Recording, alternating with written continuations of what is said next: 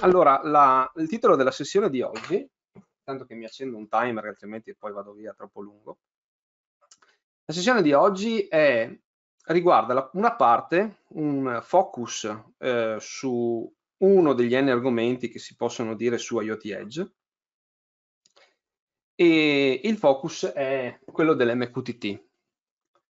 E, allora, prima di tutto, mh, mm, perché ne parliamo? Perché fondamentalmente questo oggetto eh, sta continuamente cambiando di significato e complice anche un po' la tendenza oggi di avere eh, diciamo così il pendolo del, del come dire eh, cloud versus edge tende verso la parte edge e quindi diciamo che eh, oggi come oggi si tende a parlare di edge in generale.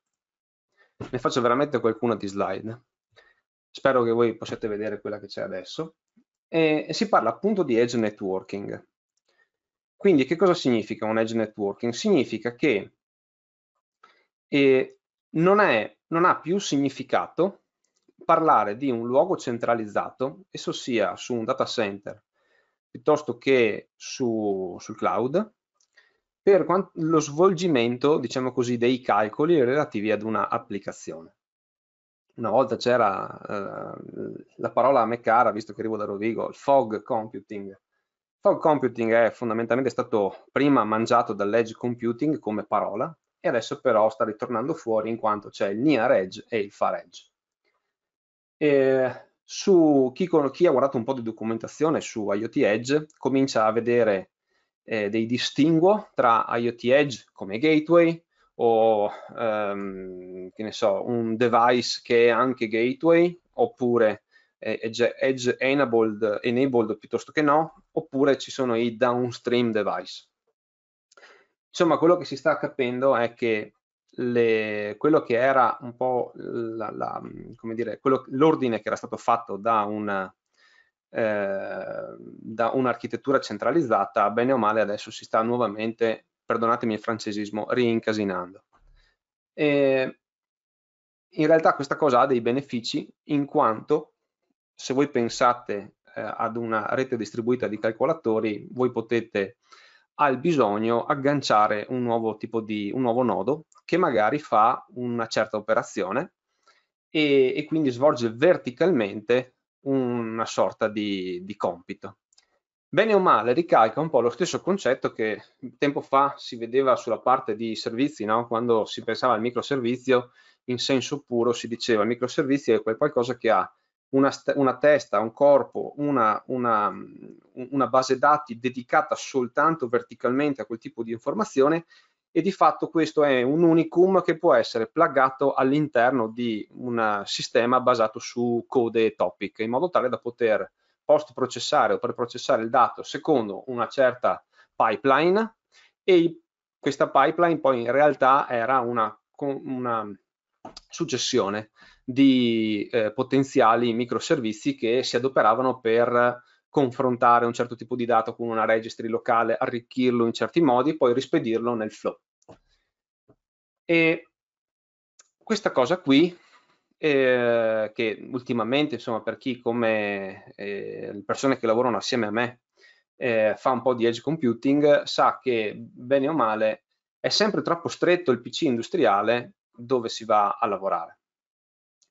E, ehm, e, poi ci sono le classiche eh, domande di sempre, cioè come faccio ad avere un ambiente di test coerente, eh, è giusto o non è giusto preparare un simulatore ed è giusto o non è giusto installare tutte queste robe su delle macchine virtuali quando in realtà poi nella vita vera eh, ci sono dei PC che hanno ben, ben altre peculiarità, eh, peculiarità soft. In buona sostanza, l'edge networking è quella forma di, eh, di, di, di, computing distribuito che risolve questo tipo di applicazioni, facendo in modo tale da poter variare dinamicamente l'impostazione dei flussi da un punto centrale e di poter pluggare al bisogno eh, dei ulteriori eh, dire, pezzi di computazione dei dati più o meno grandi, più o meno dedicati a una certa, a una certa cosa. Eh, sicuramente potrebbe farvi eh, essere interessante per alcuni di voi capire quello che è un caso reale. Eh, non, non, non, vogliatemene, porto esempi di, di IoT industriale eh, semplicemente per farvi capire che eh, se voi pensate all'IoT come al device che tira su quattro dati in croce e li manda verso un punto centrale, lì potete anche chiudere, guardare la sessione, un'altra sessione, non la mia, perché quello non è edge distribuito. E edge distribuito è quando tu hai un carico pesantissimo di cose da fare, magari un eh, entry point che ti viene richiesto sia campionato a velocità molto importanti, quindi multipli di hertz, e eh, in maniera totalmente configurabile questa pipeline, questo ingresso dati, questa valanga di dati che entra, deve in qualche modo essere usufruita in modo diverso da una o più applicazioni. Alcune possono essere applicazioni end user, altre possono essere delle sorte di ehm, enrichment o inferenze sul flusso di dati che arriva per poi andare a finire in altre parti. Su, questo, su questa slide voi vedete uno use case, no? Che dice, leggetelo dal basso verso l'alto.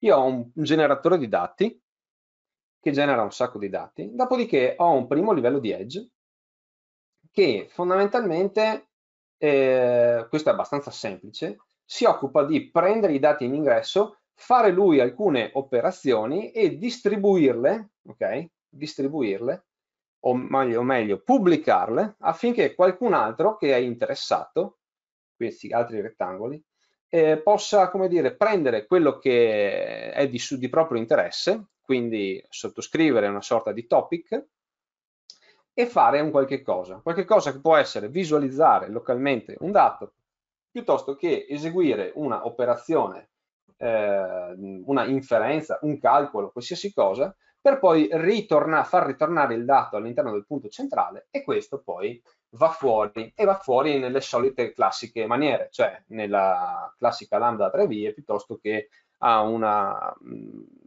storicizzazione, diciamo così, di dati di tipo temporale. E fin qua è ok.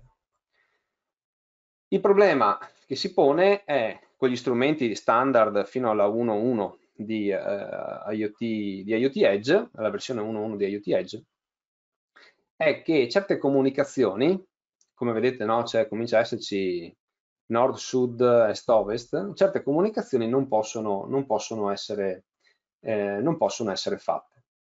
E quindi, ehm, come dire, si è resa necessaria, questa è la prima cosa.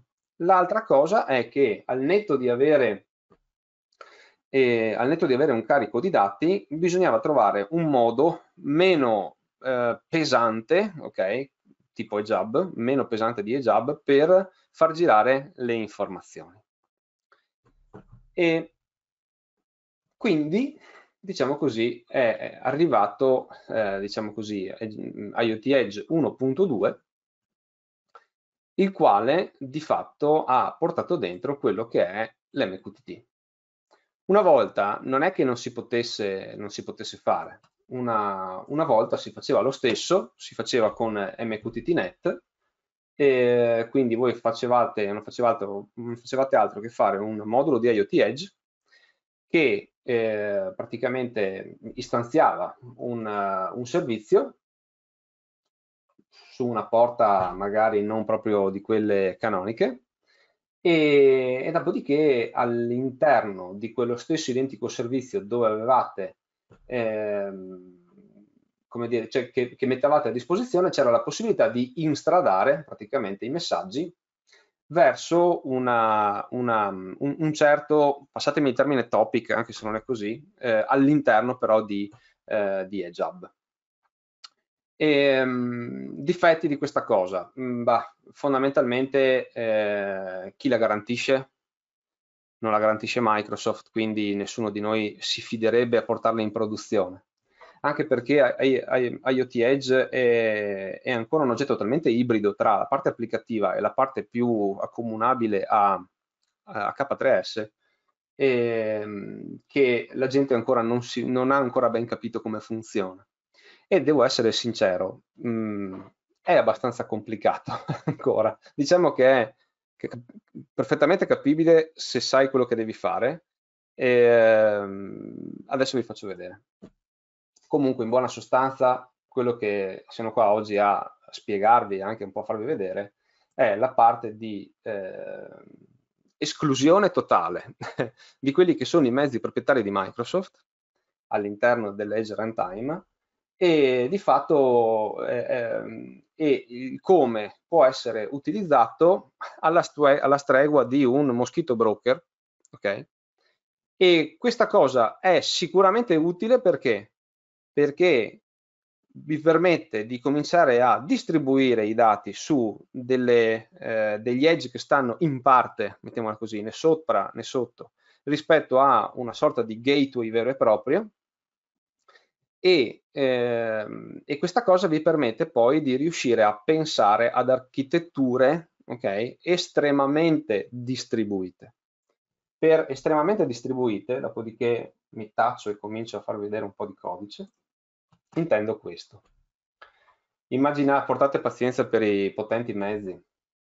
Immaginate di avere un punto centrale, che chiamiamo Azure. Su questo punto voi decidete di mettere un... Uh, adesso non vado a cercare quale icone perché altrimenti diventa troppo lungo. Immaginate che su Azure ci sia un Azure Container Registry, no?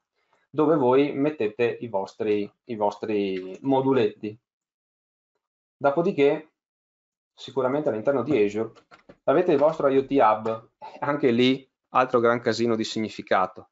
Non è un device management e basta, perché contiene anche una pipeline intrinseca, è un, un ibrido tra tante cose. No? D'altronde, se fosse stato uguale agli altri, magari nessuno di noi l'avrebbe guardato.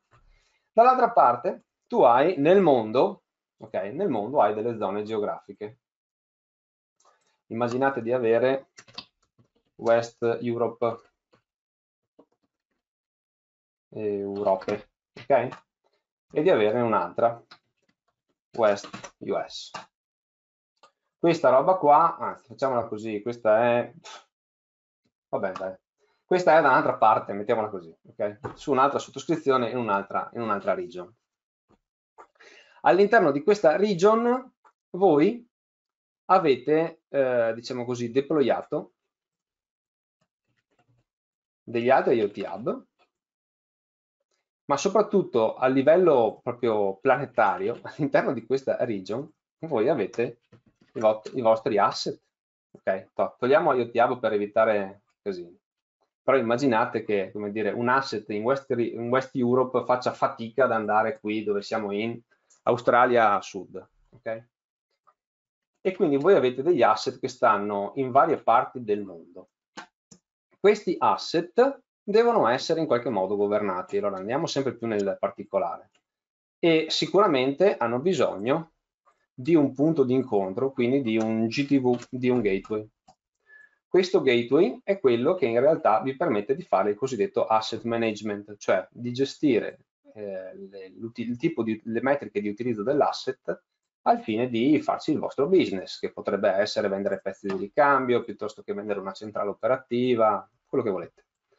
E, e questo è il vostro gateway. Mettiamo il caso però che qui dentro ci siano anche delle persone, se qua scrivo user, spero che non si impalli il computer,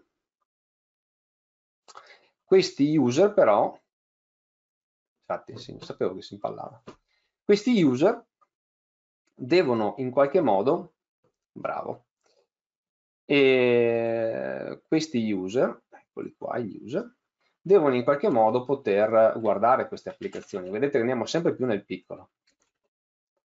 E queste applicazioni non sono l'asset, non sono il gateway, ma sono delle applicazioni web che stanno qua, che devono prendere i dati dall'asset. Secondo voi queste applicazioni dovranno stipulare una seconda una seconda eh, connessione? La risposta è no, perché altrimenti non sareste qua ad ascoltarmi. Quindi significa che io dovrei fare così. E poi abbiamo detto prima il discorso delle differenze, eccetera, eccetera. Ma il problema che sottintende tutta questa roba qua è che il mio ACR è qui dentro. Sta in un'altra region. Quando Microsoft comincia a parlarvi di Stack Hub, Stack Edge, tutte queste robe qua, il disegno che c'è dietro non è quello di cominciare a fare voli pindarici di rete a destra e a sinistra, perché sappiamo che in realtà la rete è il guaio, la latenza è il guaio. Quindi in realtà quello che ci stanno dicendo, se riesco, è quello che ci dovrebbe essere un filo rosso che connette non soltanto, eh, non soltanto l'edge device, ma cominciare a tessere quelli che sono dei fili su altre porte, in modo tale che il mio operatore, nel momento in cui è qua e dispone un aggiornamento, e quindi qua fa un update, quello che succede è che questo ACR è in sincrono con questo. Magari non al millesimo di secondo, ma è un uh, time uh, triggered, timed sync, ok? Cioè, nel senso, una, una sincronizzazione a tempo, ok? Periodical, to, periodical sync. E nel momento in cui c'è questa sincronizzazione, non si fa niente fino a quando non c'è l'impulso da parte di qualcuno che in realtà è un altro tipo di operatore. Questo è un operatore che fa operation, questo è un operatore che fa sviluppo e questo non fa altro che dire, eh sì, adesso dobbiamo aggiornare tutti quanti i device. Quali? Questo, che è in rete IT, o se riesco a farlo, questo che è in rete OT, per cui questa roba qua non vede internet. Scusate. Questo è il giochino. E il giochino lo stanno ancora mettendo in piedi. Adesso ve lo faccio vedere. Allora, ogni tanto faccio delle eh, asserzioni, ma soltanto per farvi capire come, come si sviluppa. Eh, cioè come si, come si evita di perdere la testa in questo mondo distribuito, perché ci sta poco. Allora, voi sapete che su IoT Edge tutto si basa su un file di configurazione che è il vostro manifest, ok? guardiamo un manifest, un manifest uh, verosimile. Dopo vi spiego cosa vuol dire verosimile per me. Questo è un manifest, questo qua, gateway deploy v001.json, ok? Se fate delle screenshot e vi beccate le mie credenziali, dopo tanto comunque cancello tutto, quindi evitate. Ve lo dico per gli amici che mi fanno sempre il punto sulle credenziali in chiaro. E quindi ho un manifest dove dico che ho due robe importanti l'edge, cioè l'edge agent dove dichiara praticamente tutti i moduli, dove cominciate a vedere dei moduli che di solito non si vedono nei vari tutorial. Forse sì, blob storage sì, c'è. Adesso vi spiego cosa, perché c'è. Dove c'è un, eh, come dire, Azure Container Registry, eh, vero, che è quello dove teoricamente dovreste mettere tutti i vostri moduli di IoT Edge che poi vanno deployati. E dopodiché vedete i system modules, quindi vedete praticamente la sorta di dichiarazione di tutte quante le environment variable e tutte le configurazioni per far avviare quanto predichiarato qua sopra. E quindi praticamente avete Edge Agent, eh, Edge Hub, eh, che hanno le loro, le loro impostazioni. Quindi Edge Agent sopra con tutte quante le definizioni e poi c'è Edge Hub che è il nostro centralino con i fili, ok? Che oltre ad avere la solita configurazione, notare che quando c'è scritto 1.1 c'è scritto 1.2 e questo è il primo dei casini che avrete, adesso vi spiego perché, c'è tutta la parte di autorizzazione di MQTT. Quindi, tornando a noi, come si lavora per fare tutto questo gioco qua? Allora, io ho messo in piedi una struttura abbozzata, eh, abbozzata eh, fatta tra pranzo e adesso, fatta così. C'è un gateway, questo gateway parla con internet. Ok?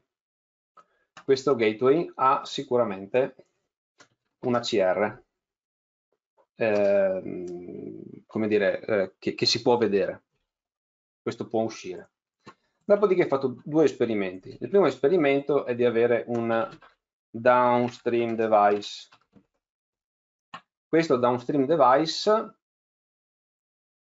lo faccio parlare con il gateway via MQTT. Invece poi ho fatto un altro device, lo metto qua, ma semplicemente perché non saprei dove metterlo, intermediate device, che parla anche lui via MQTT.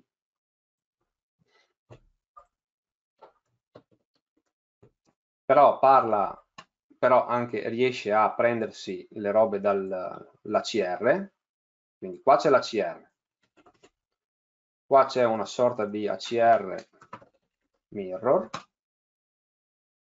e quindi di fatto quello che c'è è che c'è una comunicazione, questi non possono andare in internet, ok? c'è una, diciamo così, comunicazione con questo ACR mirror, che non è l'ACR remoto, tramite il gateway. Praticamente il gateway fa anche da container registry. Quindi questo gateway sta assumendo un ruolo che è tutt'altro che applicativo.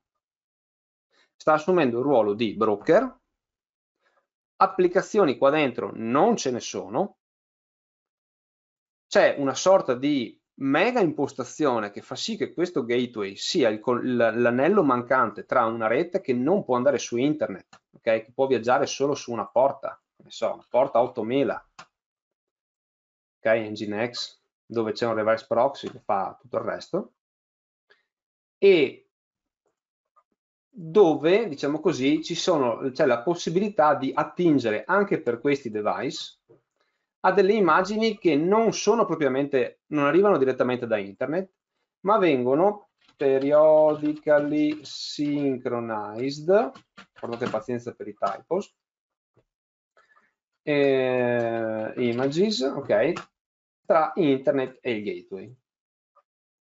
Questo è il giro. Allora, questo, questo e questo sono IoT Edge di tipo 1.2 il primo problema di IoT Edge 1.2 è che l'altro PG, cioè l'altro product group, quello che fa l'Azure Portal, sono fuori per fuori, cioè nel senso con la loro roadmap. Intendo dire che se voi fate una configurazione basata, dicevamo prima,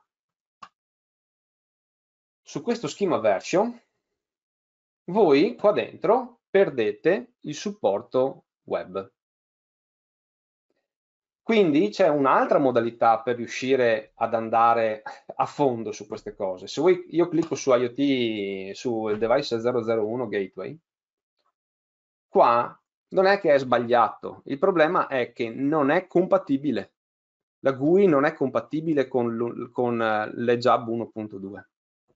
Quindi la prima cosa da fare è munirsi di Visual Studio Code e cominciare ad editare a mano come si faceva sicuramente, la parte di deployment. E ovviamente questa parte cambia, cambiano le cose che vanno qua dentro, a seconda che uno sia collegato a internet piuttosto che non sia collegato ad internet. Come vedete qui non c'è scritto l'indirizzo internet, ma c'è scritto upstream. E quindi la prima cosa è mettersi nell'ordine idee di, di, dover continuare a deployare e poi cominciare ad avere un sacco di finestrine aperte. Per quanto mi riguarda, io ne ho almeno una aperta per ogni device, quindi in questo caso downstream, gateway e intermediate, console SSH. Eh, mi sono messo per comodità un, un IoT Hub Monitor in modo tale da poter vedere tutto quello che passa senza tirare su troppe applicazioni e dopo uno o due azicli quelli che servono.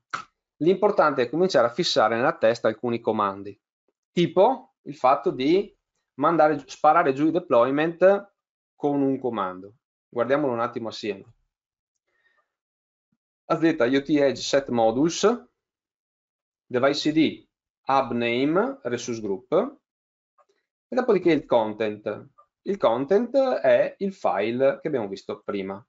Quindi nella vostra scaletta voi dovete avere un tool per fare l'editing dei manifest. Non c'entra con Visual Studio. Voi potreste tranquillamente fare anche delle console application quando usate l'MQTT all'interno di EJAB.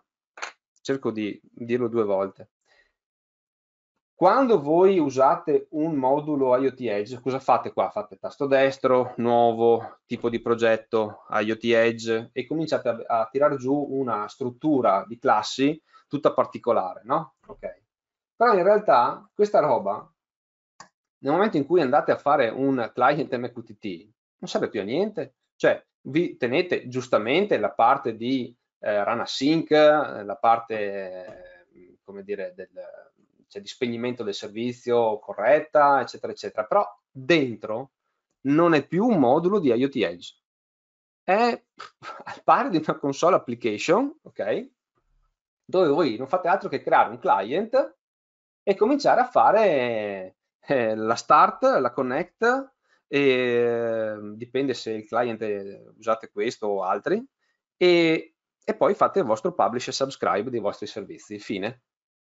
Ok? Quindi immaginate per esempio, non so, nel caso di prima, eh, uno che fa subscribe, dov'era qua? Questa applicazione qua che ha un, dentro questo IoT Edge qua, ci sia una console application che fa subscribe su un particolare topic che c'è esposto da questo focal point, SPOF, mettiamola così, single point of failure, che è quello che tira sui dati e li mette all'interno del broker, e magari qui in Edge 2 c'è un'applicazione che non fa altro che prendere i dati e schiantarli dentro un SQL Edge, um, un, un, un SQL Edge messo a disposizione magari per un'applicazione web che non sa niente dell'architettura Edge, non sa niente di PLC o di altro, sa soltanto che deve fare da GUI a un, a un SQL DB interno. Adesso io ovviamente cito dei, dei componenti di, di, Microsoft, però voi fondamentalmente se mi mettete il cappello Cloud Native e buttate dentro quello che volete, sono Docker container. Le stesse, le create option che voi avete dentro Edge Hub sono le create option di Docker. Ok? Quindi andate a leggere le, create option di Docker, dopodiché le scrivete all'interno della configurazione e di, del vostro manifest. Ok? Bene, detto quindi vuol dire che tutte, tante di queste robe qua, questa roba qui è una stringa che poi viene, se la pappa il modulo, ok, in fase di execute. Eh, tornando a noi, quindi abbiamo detto, questo è lo use case. Come si fa lo use case? Si fa abilitando l'MQTT all'interno di EJAB per abilitare l'MQTT all'interno di EJAB, in modo tale da abilitare questo, quello che dobbiamo fare è nel gateway deploy v001, al netto di quello che dopo vi spiego c'è qua dentro, fare una cosa fondamentale, che è, caspita, è questo, quindi si chiamano ancora experimental feature, siamo tutti d'accordo, stiamo parlando di robe un po' borderline. Il gruppo prodotto spero, come dire, mh, renda tutti quanti più felici tra poco mettendo tutto quanto in GA, cioè togliendo questo experimental feature. E quindi praticamente per accendere su EJAB l'endpoint, questo è. E, ovviamente EJAB in quel caso ha bisogno di bind che sono oltre quelli standard, ok? Quindi 1883, perché altrimenti sarebbero 883 e 5671 MQP e MQTTS in modalità JAB classico, ok? E, sicuramente in EJAB c'è bisogno di una storage folder, ma questo semplicemente per poter eh, memorizzare tutti gli in-flight messages okay, all'interno dell'MQTT broker, tra le altre cose in un database uh, wall-based, wall-based che è RocksDB. La cosa importante è guardare poi le properties, okay, che al netto dei routes che fondamentalmente uno potrebbe anche togliere perché non ce ne frega niente, magari è una, è una manipolazione che fa rimanere i dati nell'edge, non c'è niente che viene portato su un cloud. Eh, L'importante è con, intanto capire cosa c'è scritto qua dentro, cioè sulla parte di MQTT broker. Ovviamente se voi mettete questa, ma non mettete questa, MQTT non funziona. Una delle rogne, io dal mio punto di vista sono per la, la libertà di accesso nei, nei, nei, livelli 1 e 2, cioè non, non, è proprio, non sono ancora molto convinto della, della estrema security che bisogna applicare nei livelli interni se questi sono separati da internet. Però vabbè, mettiamo di essere fare i bravi bambini e di, metterla, e, e di mettere tutto quanto dire, in sicurezza. Beh, insomma, sappiate che eh, non esiste comunicazione MQTT che non sia autenticata oltre che autorizzata. Cosa significa? Significa che all'interno di queste impostazioni dei gateway, dove avete abilitato l'MQTT broker, quello che dovete dire è che per ognuna delle tre operazioni fondamentali, e cioè connect, publish e subscribe, voi dovete dire quali sono le identità, questa è fondamentalmente un asterisco, ok? Altrimenti sarebbe l'id del, del device edge piuttosto che l'id del device edge slash il nome del modulo. Perché ricordatevi che scusate sento Antimo mi sa ah, grazie ok ehm, quindi l'id del device edge e ce n'è uno eh, quindi, l'identità qua è l'id del device edge piuttosto che id del device edge slash nome del modulo perché entrambi hanno un twin, il twin del modulo è un twin diverso dall'altro e quindi significa che il loro stato operazionale è distinto. Comunque in questo caso abbiamo semplificato la roba dicendo tutti dentro, ok, come si diceva una volta, e però dovete, come dire, dire quali sono per lui le, chiama, lui le chiama risorse, quali sono i topic autorizzati. Se voi non definite correttamente questa parte, MQTT non funziona. Quindi, per riassumere, MQTT su IoT Edge sì, ma.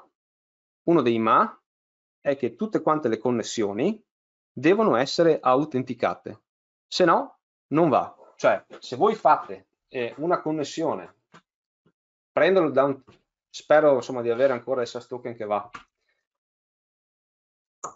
Sì, va, ok. Adesso guardiamo queste due righe qua, no? Mosquito pub, meno T, topic, meno I, identity, sta qua.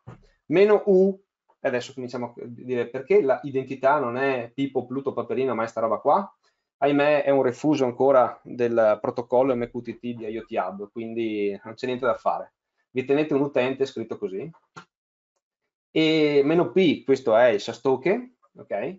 Host, versione dell'MQTT, questo è fondamentale, fondamentale perché altrimenti, fondamentale per Mosquito, se volete usare Mosquito Pub, altrimenti si presenta, come dire, con una versione che non è 3.1.1, che è quella che invece dall'altra parte vuole.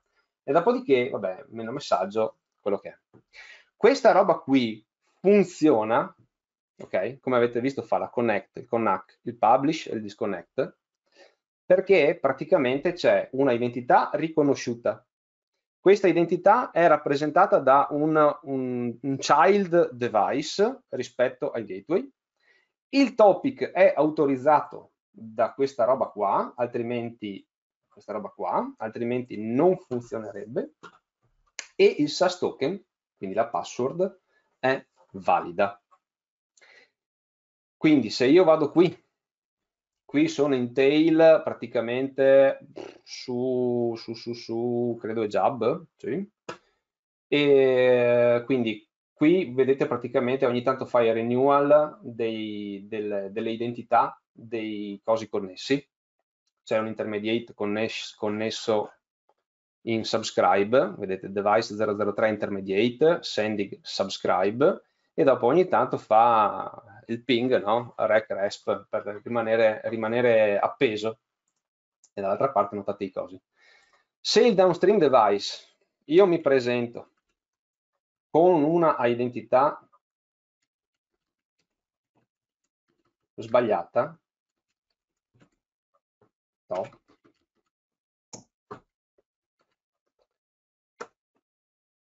Qua mi dice connection refused, not authorized, the connection was refused, giusto, bene. Qua, dove caspita è? Me la sono persa? Forse sì, scusate, non ci vedo poco. Uh, portate pazienza, eccolo qua. Authentication successfully, non riesco a vedere il, il messaggio. No drop connection con hack, eccolo qua. Portate pazienza, ci vedo veramente poco. Refuse, eh, eccolo qua, buono, perfetto. Questa roba qua non è autorizzata, quindi lui non va. La domanda è, dov'è che gli ho detto io di autorizzarla? Se voi guardate soltanto qui dentro, voi dite, ma qua non c'è mica scritto che uno può andare o non andare? E una delle cose fondamentali è capire che eh, l'autorizzazione e l'autenticazione sono due cose diverse, perché una è regolata, come dire, da, eh, da questa parte, e l'altra è regolata da una parte che sta online, cioè in buona sostanza non è qui che io vado a definire chi è che può parlare con chi, devo andarlo a definire all'interno di un browser.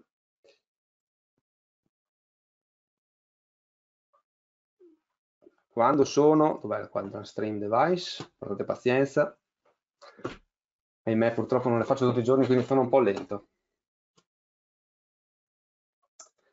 è in questa parte qui che voi andate a dirgli praticamente guarda che io ci sono e, e sono connesso a te ok? è grazie a questa roba qua che voi andate altrimenti non funziona più certo ci sono un sacco di impostazioni da fare eh, diciamo che mh, dal punto di vista eh, formale, okay, quello che occorre fare per instradare una comunicazione correttamente, diciamo che si può riassumere in pochi comandi. La prima è il fatto di dire a, Z IoT Hub Device Identity Create, quindi creo una identità.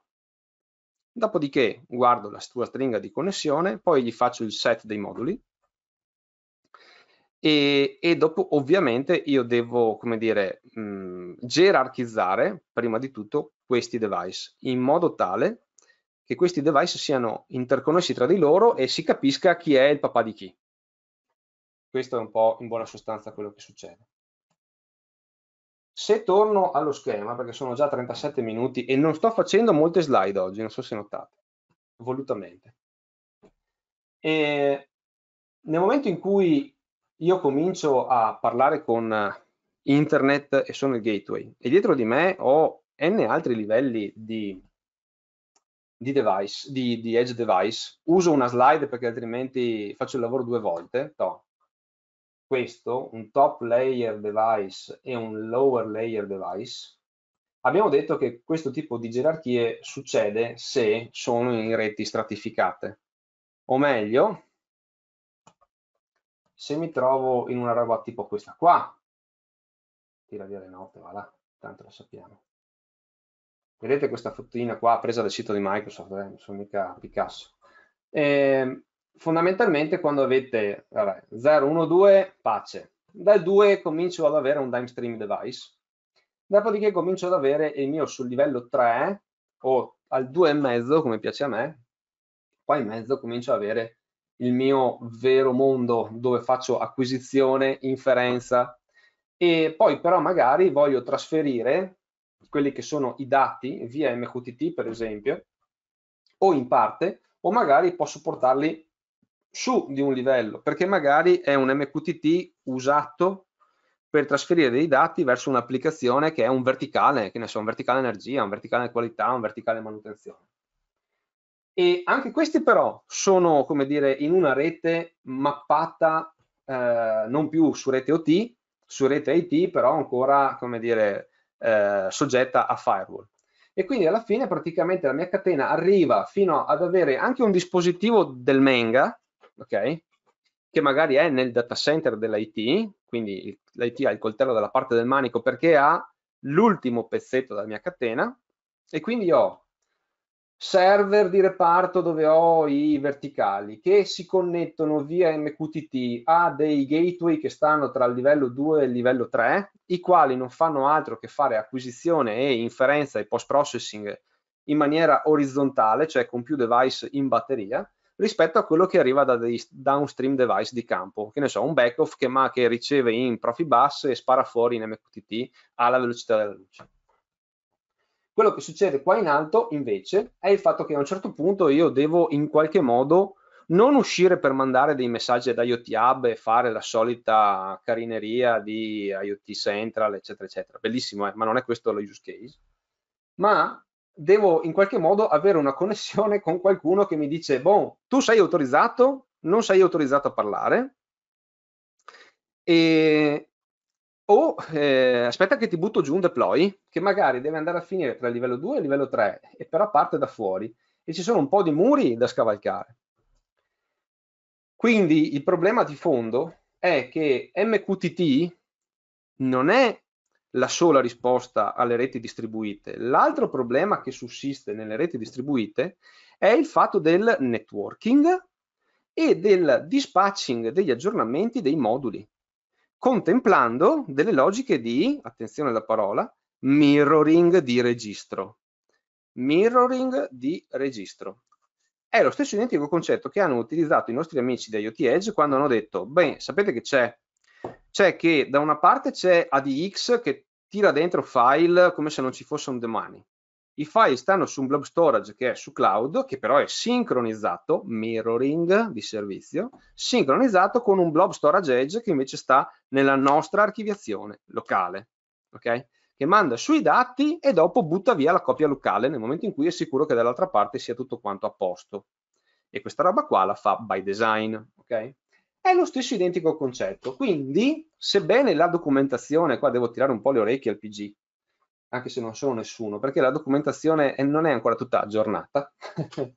e ci sono alcuni punti ancora che sono vecchiotti, infatti su alcuni punti si legge che è corretto prendere il Docker Registry che viene distribuito da Docker, in realtà in altri punti c'è già l'aggiornamento, e cioè che Microsoft ci, ci sta per infilare il salsicciotto di Natale. Qual è il salsicciotto di Natale? Il salsicciotto di Natale si chiama Connected Registry. È una roba che c'entra con IoT Edge? La risposta è no, è una roba che c'entra con Azure Container Registry. Vediamo che cos'è.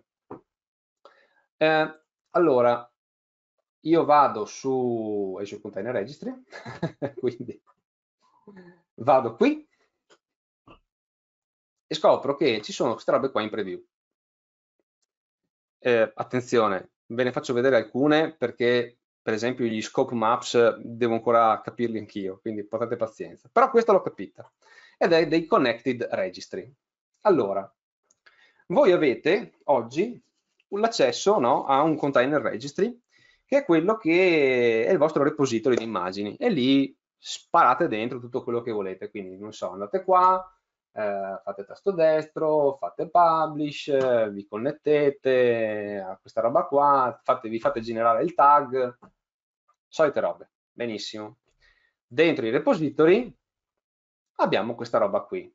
Dopo, dopo parliamo del fatto del perché ho questo. Io ho anche il mio modulino MQTT che non fa altro che fare publish e subscribe, eh? cioè niente di wow. E questo è un repository che sta centrale. Bene. Che cos'è il Connected Registry? Il Connected Registry è un qualcosa che è partito come eh, Stack Hub, cioè vabbè, insomma, la parte di l'ex Azure Stack, ok? sul fatto di poter sincronizzare due container registry, uno centrale e uno periferico su una edge zone. E in buona sostanza, adesso ne, faccio, ne creo un altro giusto per provare. Potete avere n parent, n parent di connected registry dichiarati qua dentro, poi in realtà si trasformano in connected registry va sui vari livelli, sui vari livelli fino ad arrivare all'n-1.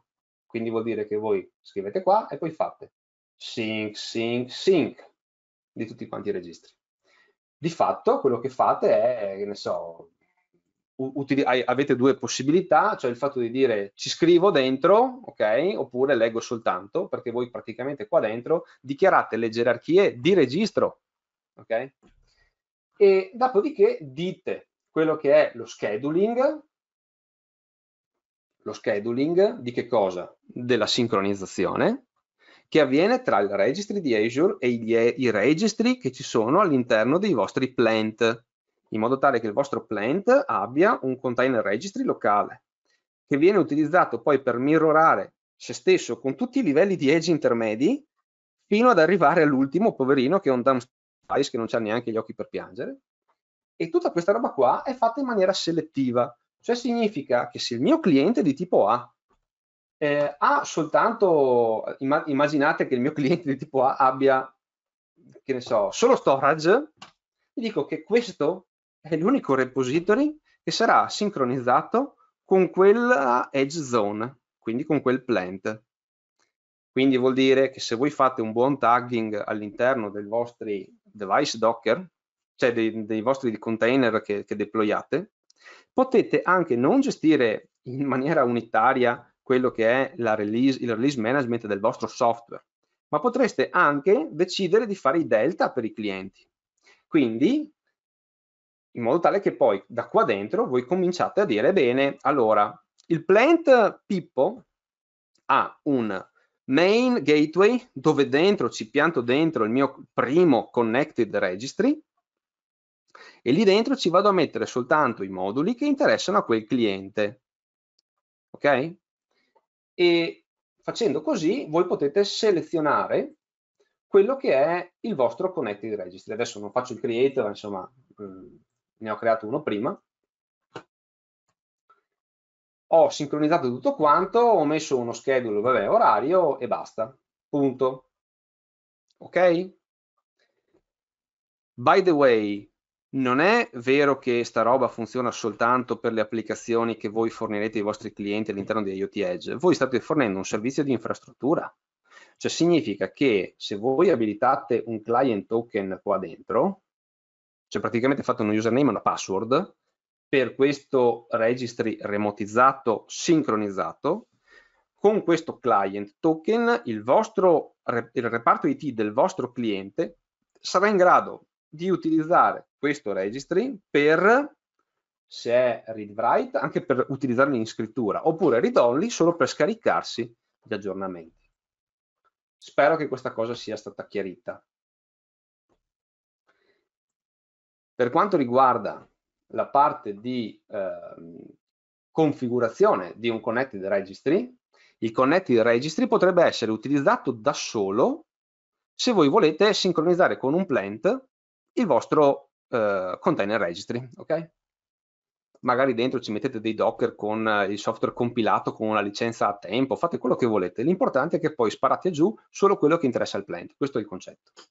Diverso è invece il ruolo dell'API proxy che wrappa quello che è una porta esposta dal, um, dal container registry, dal connected registry, perché semplicemente c'è un cavolo di firewall, di proxy firewall in mezzo tra la rete IT e la rete OT, per cui passano soltanto chiamate in una certa porta, 443, 8000, quello che volete.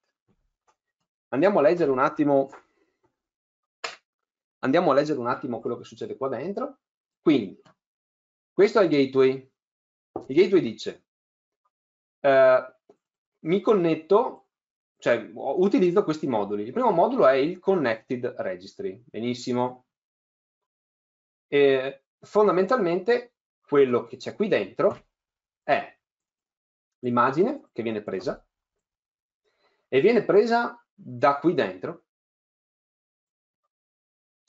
Dopodiché c'è la sua le sue opzioni, fondamentalmente deve esporre una porta, ho messo l'8080 giusto per rimembrare i tempi di Tonker, e, e la, ovviamente il dove caspita andare a scrivere fisicamente sta roba, no? Quindi vuol dire che voi all'interno del vostro gateway, aspetta che adesso sto cominciando a fare giramenti di testa, all'interno del gateway, qua dentro,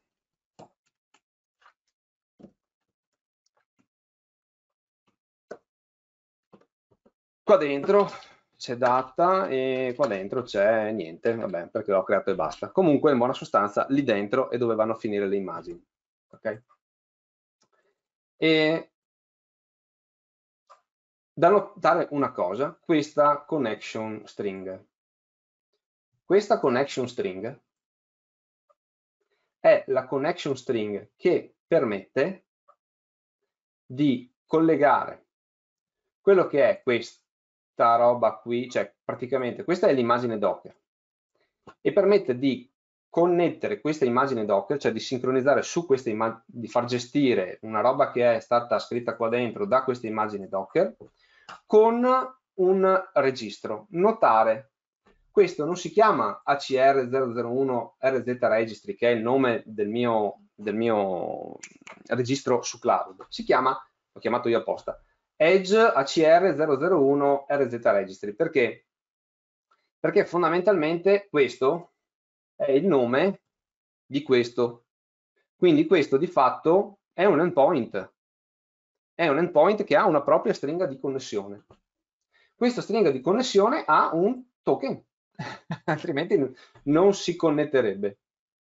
Infatti, come vedete, c'è un endpoint di macchina virtuale settorializzato. Cosa vuol dire? Settorializzato, scusate, regionalizzato vuol dire che di fatto la connessione viene fatta con un particolare eh, nodo, nodo distribuito su cloud, quindi vuol dire che più, su più aree geografiche voi avete un ACR cloud che è agganciabile con un ACR edge. Cosa vuol dire? Vuol dire che se io qua dentro, vabbè, potrei fare dei child, quindi volevo vedere se riuscivo a ritrovare la parte, la parte, la parte, la parte. Queste le ho fatte io? No. Provate pazienza, mi sono perso un secondo. Uh, oddio, ah, eccola qua. Qui praticamente voi non fate altro che decidere le repliche del vostro ACR.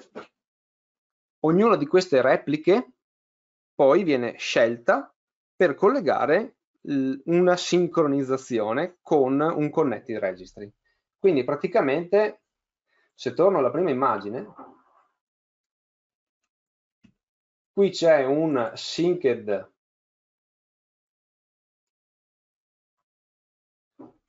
registry, quindi c'è uno centrale che sincronizza su uno che è di regione il quale viene utilizzato come parent gateway per andare a mappare un connected registry che sta all'interno delle, delle, mura di un plant. Quindi eh, forse ho fatto una cappella, così, ecco. West US come regione fisica, ACR di West US con, eh, come dire, in sincro con l'ACR di base che ho da un'altra parte, dopodiché questo ACR viene preso come parent gateway endpoint per essere poi mappato come connected registry dentro il gateway. Ehm, scusate, vado avanti, 53 minuti, dai, ce la possiamo fare. Quello che volevo far vedere era, eh, stavamo dicendo il binding qua, porte 8080, connessione, va bene, Dopodiché dicevo, c'è bisogno però di mettere anche un, eh, un qualche cosa, come dire, che mappi all'interno della rete quella protetta, iperprotetta, quella qua sotto, eh, quello che è il mio ACR. Quindi uso questo, cioè questa che è un'immagine API proxy 112. Dopo vi faccio vedere completo che me lo scrivo. Come vedere le versioni perché belli tutorial che ci sono su microsoft.com però in realtà non ti fanno mica capire dove sono le versioni adesso le faccio vedere e fondamentalmente questa è un Nginx reverse proxy esposto sulla porta 8000 che so se vedete ha bisogno di due ulteriori configurazioni questo è in rete locale Docker, quindi in realtà non è che puoi mettere 10.0.0.4, devi mettere il name dell'immagine Docker nella rete Docker. Quindi vuol dire che questo ragiona con questa label qua, che è la stessa label che ho preso da qua. Se qua scrivevo Pippo, qua avrei dovuto scrivere Pippo, esposto sulla porta che abbiamo detto qua, 8080. Ok? Quindi vuol dire?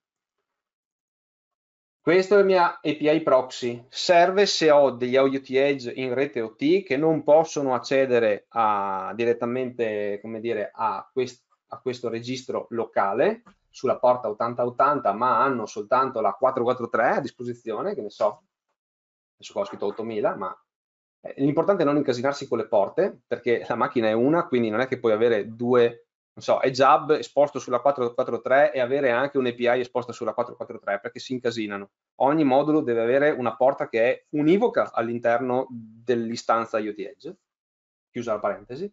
Comunque c'è eh, questo modulo che corrisponde a delle API esposte sulla 8000.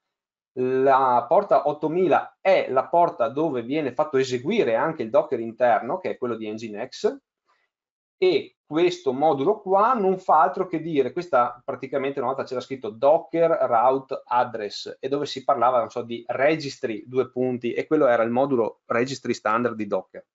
Adesso stanno cambiando le cose perché hanno capito che stanno perdendo soldi così. Facendo così in realtà ti costringono ad avere, in realtà anche bene questo aspetto, governata una intera rete di container registry e in buona sostanza, insomma, eh, questa roba qua poi mappa questo container su questa porta. Ovviamente eh, tutta sta roba ha senso se, se c'è la possibilità poi di storicizzare quello che sto eh, facendo, quindi le copie locali e quant'altro, e quindi c'è bisogno di un punto d'appoggio. Il punto d'appoggio è il solito amico nostro, che è questo. Adesso, drawback di tutta sta roba qua sono questi.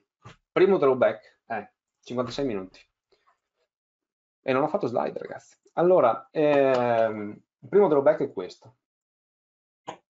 Qua è una cavolata farlo. Quando sei disperato, quando sei eh, su una rete vera, devi ricordarti di munirti a livello fisico di un aggeggio che in qualche modo faccia da, eh, come dire, da binder di porte, insomma faccia il ruolo dell'NSG, del Network Security Group, ma on-prem.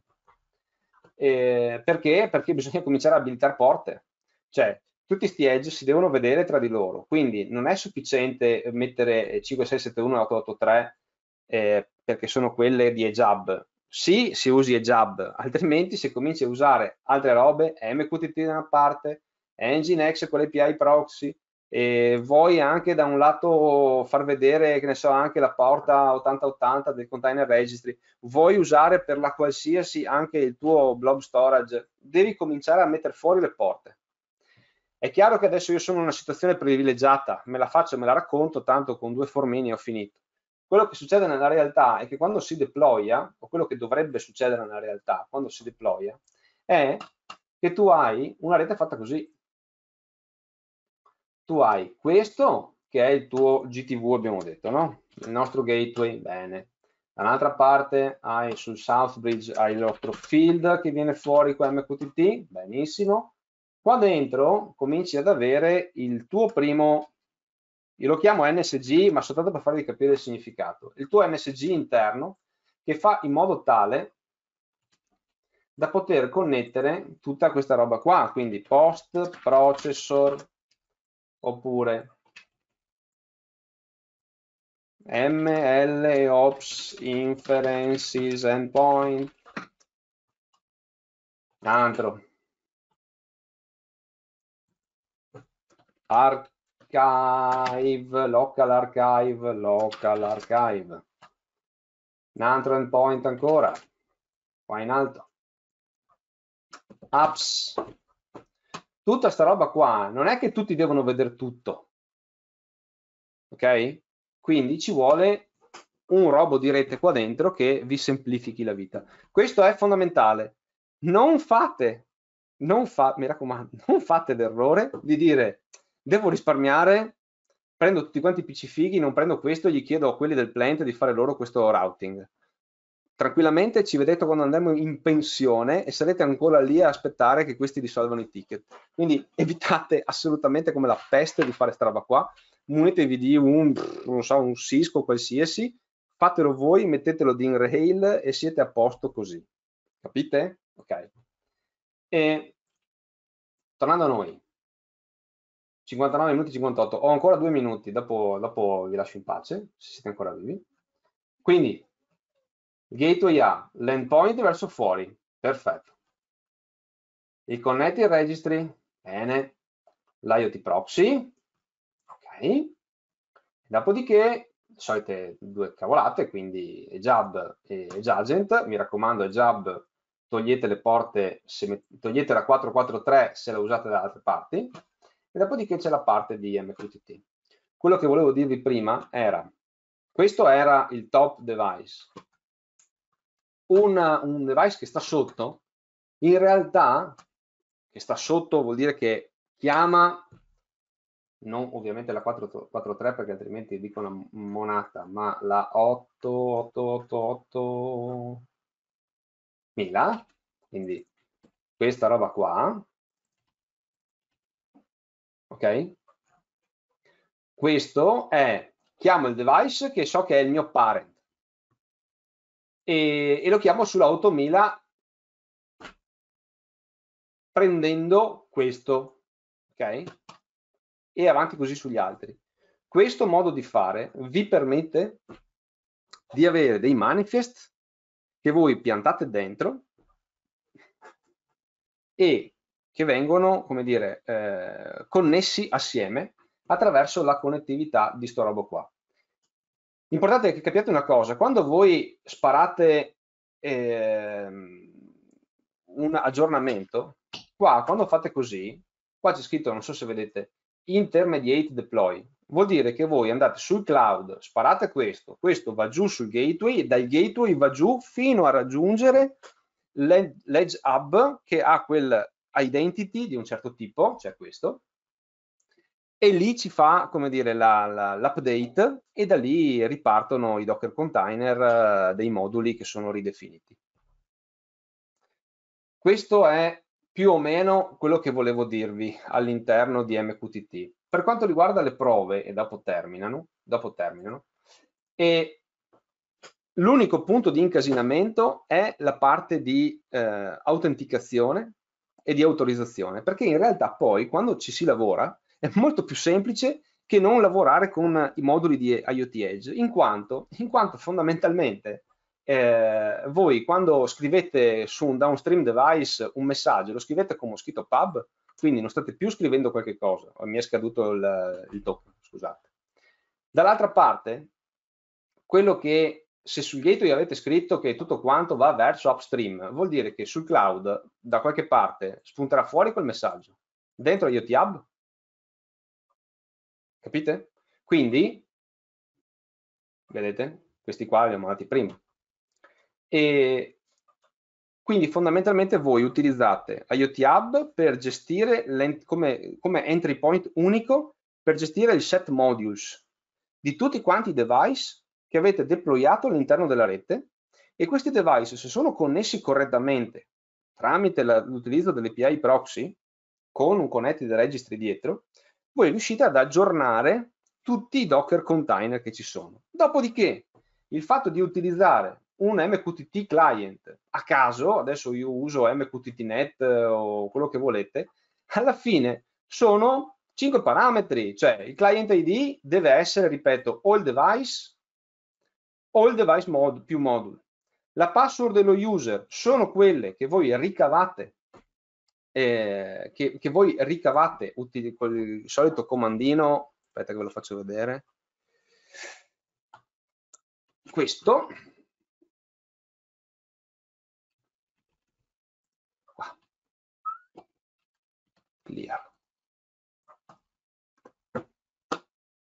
Generate SAS token, device ID, hub name, resource group policy, vabbè adesso magari ho esagerato, ma vabbè, e 10 ore.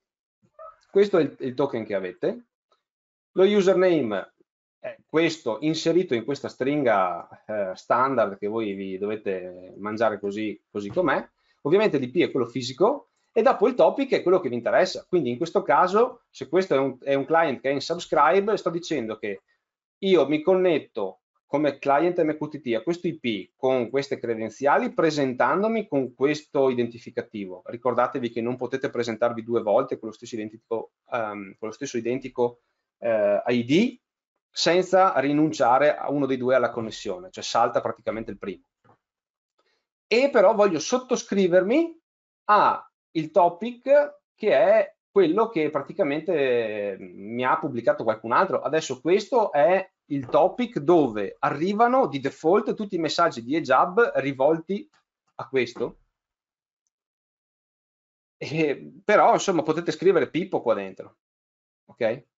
E dopodiché, vabbè, la, la, parte di connessione, ripeto, qui non c'è scritto niente, niente, se non una start, una subscribe e dopo un handler. Quindi che reagisce ogni volta che viene, che viene preso un messaggio. Bene, adesso allora facciamo una demo che ha lo scopo di far vedere tutto il giro che c'è da un downstream device fino a un possibile output che va su IoT Hub, ma semplicemente per far vedere che il giro esce dall'edge e e va sul cloud. E vi, vi, vi, ho preparato uno schemino di più o meno quello che c'è adesso come comunicazione, giusto per inquadrare la demo. Allora, immaginate di avere un downstream device che è una, come dire, una, um, un, um, un, device che non ha IoT Edge, è un, di fatto un field no, che, manda, che, manda, dati. Eh, lo rappresentiamo questa volta attraverso una macchina virtua virtuale Linux con eh, Mosquito eh, Pub, okay? quindi con eh, il publisher di Mosquito eh, che manda un messaggio. All'inizio quello che facciamo è mandare un messaggio su un topic, ok? Che eh, di fatto mappa esattamente quello che è il, eh, il, il, buffer di memoria dedicato ad un modulo IoT Edge, cioè significa che io parlo in MQTT ma entra in Hub e quel messaggio quindi viene poi forwardato esattamente fuori, quindi senza nessun post process. Una cosa che prima non ho detto e che mi sono reso conto che invece è importante è spiegare che l'MQTT funziona esattamente come tutti noi pensiamo, cioè con i topic con scritto Pippo, Pluto, Paperino, ed è, questo è vero, ma quei topic lì sono topic interni che stanno nel contesto d'uso dell'MQTT broker. Nel momento in cui invece io pubblico eh, su un ehm, su un topic che è un topic riservato, cioè intendo dire eh, che fa parte del device, quindi è un devices slash device ID slash events, eh, piuttosto che un topic che porta il nome del device e del modulo IoT Edge, di fatto io sto sparando in MQTT, ma è come se praticamente, praticamente se mandassi un messaggio all'interno all di EJAB. E quindi se all'interno di OJAB ho configurato un asterisco route to eh, chiocciola upstream, vuol dire che tutto quello che passa in EJAB va a finire fuori in Event Hub, in uh, IoT Hub, scusate. Ma per farvi capire ancora meglio, io sono qui, ho il mio, eh, ho il mio downstream device, no?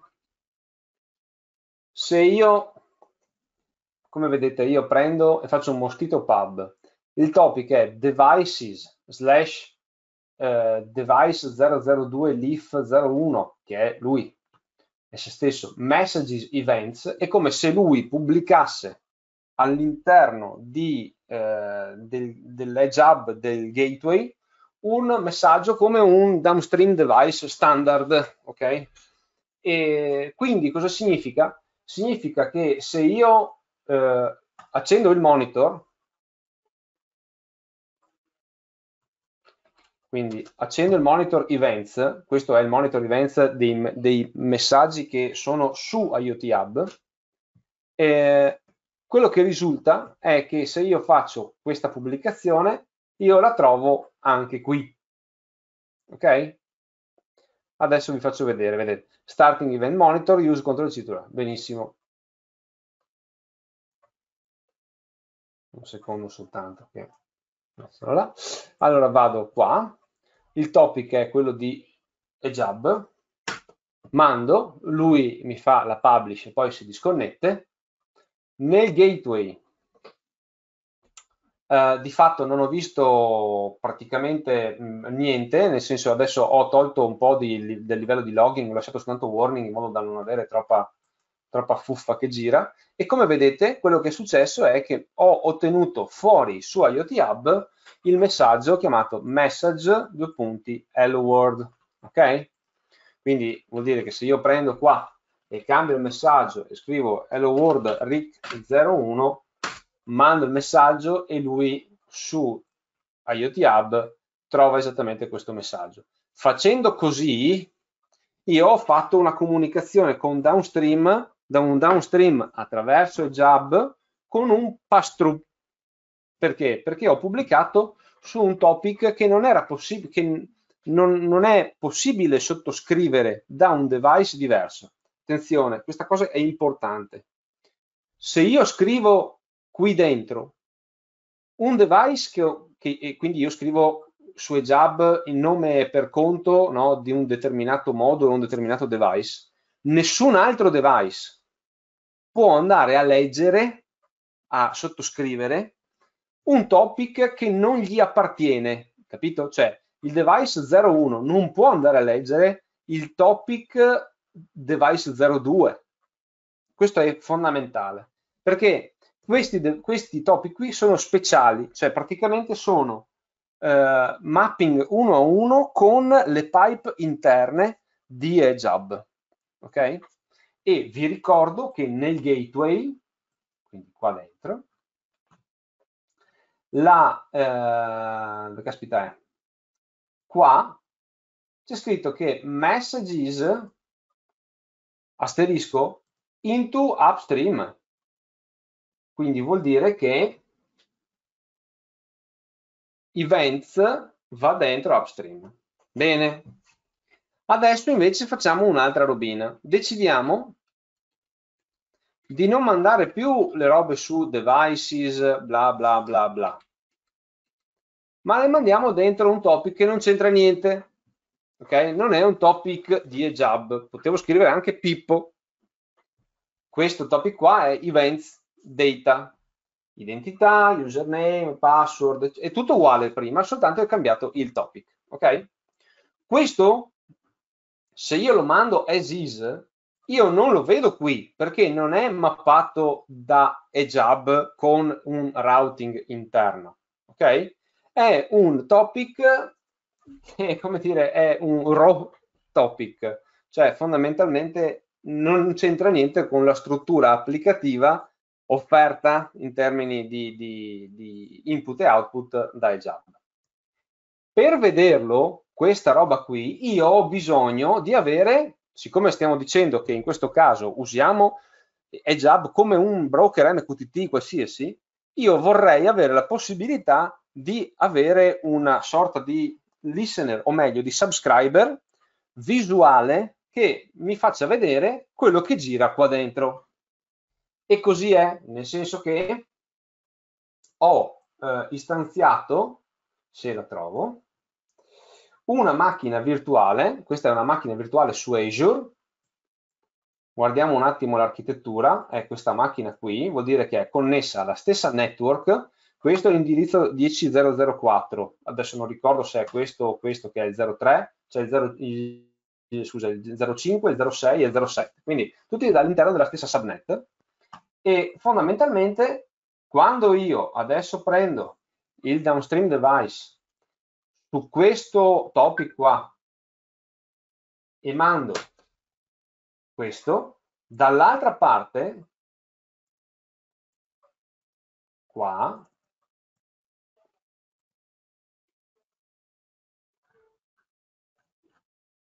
dovrei teoricamente vedere, allora, mi connetto,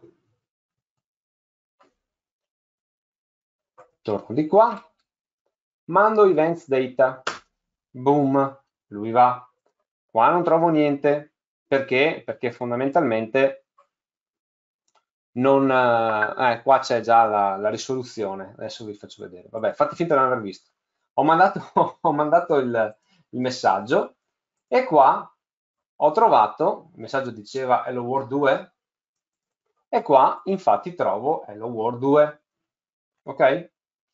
Quindi vuol dire che se voi agganciate e se voi agganciate un MQTT Explorer eh, al, che, che, risiede, cioè che è in grado di vedere la porta eh, 1883 del, di, de, dell'IoT Edge dove avete il broker installato, voi potete tranquillamente, come dire, sottoscriverlo come qualsiasi broker e quindi vedere praticamente il traffico in uscita, ok? Il traffico che passa, scusate. Adesso quello che volevo farvi capire, e che in realtà probabilmente alcuni di voi hanno già visto, è che questo eh, topic qui è praticamente lo stesso identico topic che io ho inserito, eccolo qua, all'interno di questo modulo di IoT Edge, che di fatto non è un vero e proprio modulo, perché modulo di IoT Edge significa che ricalca la, lo skeleton di messaggistica di EJAB. Questo è un vero e proprio uh, client, ok, MQTT, che è in ascolto, è in ascolto su questo topic ponendosi di fronte all'MQTT broker eh, di IoT Edge, anche lui autenticato chiaramente con le proprie credenziali.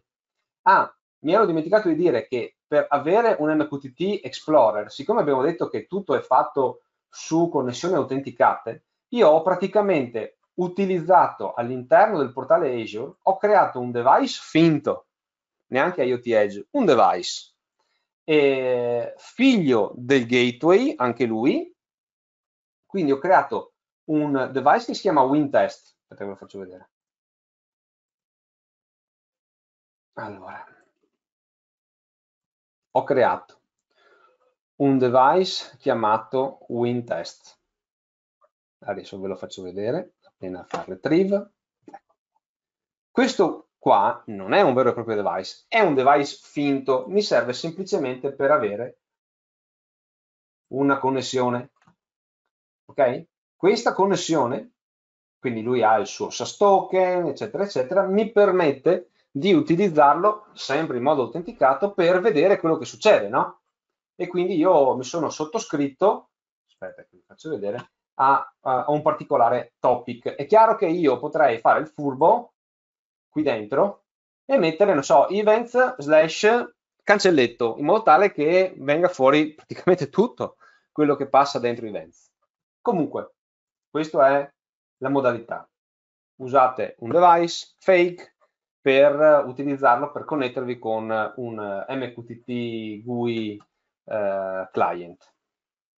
Tornando a noi, siccome abbiamo detto che il giro dovrebbe essere invece downstream che manda su un eh, topic non di sistema ma un topic custom dentro il gateway, io vorrei che, che ci fosse un device che in parte fa la subscribe su quel eh, topic post processa il messaggio e lo manda dove? E lo manda dentro EJAB come messaggio finito, in modo tale che vada fuori. Oppure, vabbè, potete usare altri custom topic e quant'altro. Nell'esempio che vi faccio vedere era è topic row, quindi interno, gateway offre il topic a chi lo sottoscrive, lo sottoscrive un client esterno per monitorare la situazione, ma lo sottoscrive anche un altro IoT Edge che sta in parte, okay, che post processa il messaggio e fa, quindi fa la subscribe del messaggio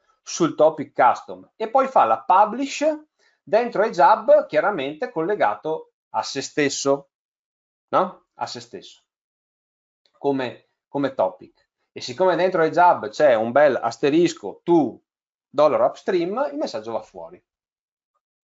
Il concetto era per farvi vedere il post processing da un um, east-west um, device.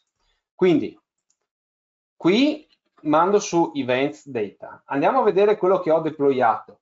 Quello che ho deployato è, come vi dicevo prima, un, un client, quindi un main praticamente con run async, che fa che cosa? Che fa la subscribe del topic events data. E dopo cosa fa? Modifica il payload. Io non faccio altro che prendere il payload che mi entra, qualsiasi esso sia, e adesso per fare un esempio, per farvi capire, e metto un, eh, lo, lo, faccio diventare valore di un attributo macro che si chiama post processed. Però capite anche voi la potenzialità di poter dire prendo una roba in ingresso, smandruppo qualche cosa e poi la ripubblico. In questo caso, per chiudere, come dire, non troppo in maniera troppo complicata il giro, ho detto lo pubblico dove? Siccome questo device qui è device 03 intermediate, ha detto bene, lo pubblico sui messaggi a lui dedicati dentro EJAB e in modo tale da fare in modo tale che dopo tramite il eh, from messages into upstream questo è messages poi vada fuori. Quindi per fare la demo significa dire accendo il monitor.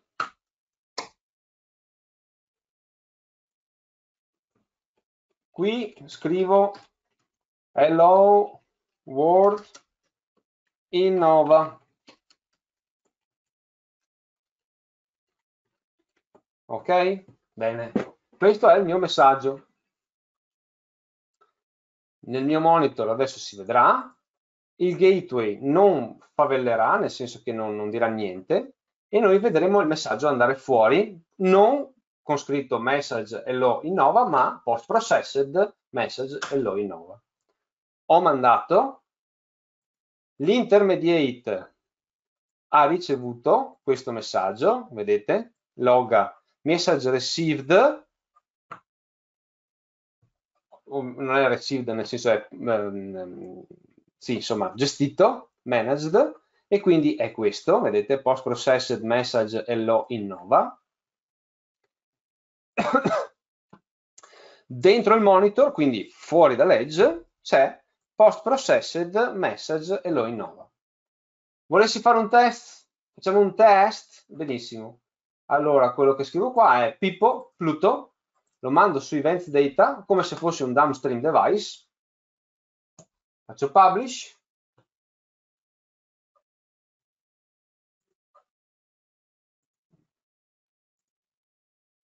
Hello Innova era quello di un minuto fa e adesso è arrivato questo. E anche qua, vedo praticamente ha fatto il giro da un'altra parte, invece di aver fatto il giro da di qua, ha fatto il giro da di qua, è entrato dentro, anche lui è stato preso d'assalto perché in realtà pubblicava sullo stesso identico topic, Intermediate ha fatto il post processing del messaggio, rispedendo indietro la cosa e Gateway l'ha mandato. Questo per farvi capire la potenza di fuoco di un'infrastruttura del genere. Cioè significa che voi potete fare entrare messaggi a velocità importanti. Eh, per quanto riguarda le velocità importanti, eh, c'è da dire che, eh, diciamo così, da, dal punto di vista prestazionale, eh, l'MQTT broker tiene molto di più di, di, di EJAB, e a livello di, di throughput.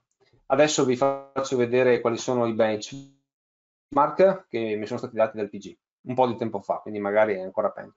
Comunque in generale questo è quello che accade, quindi tramite MQTT prendo, porto via e rilancio dove voglio. Potrei rilanciare dentro MQTT oppure a un certo punto dire li mando dentro un, che ne so, un, un, un componente, un modulo, va benissimo eh, di, di Hub per riuscire a spedire fuori magari un messaggio, ehm, un, un, messaggio verso IoT Hub.